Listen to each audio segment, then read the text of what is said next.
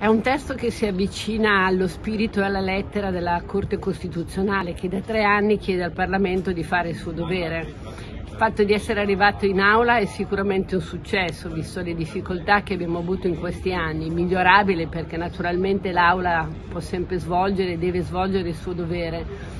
Credo che ci sia la necessità di avere una legge all'interno del nostro ordinamento e non lasciare solo nelle mani dei giudici di scegliere o di decidere sulla base di situazioni particolari.